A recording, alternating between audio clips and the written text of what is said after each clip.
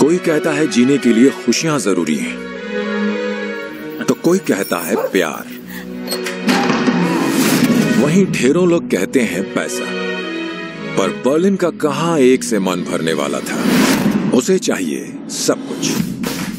हम क्या चुराने वाले हैं? हम चुराने वाले हैं पेरिस का सबसे बड़ा नीलामी घर।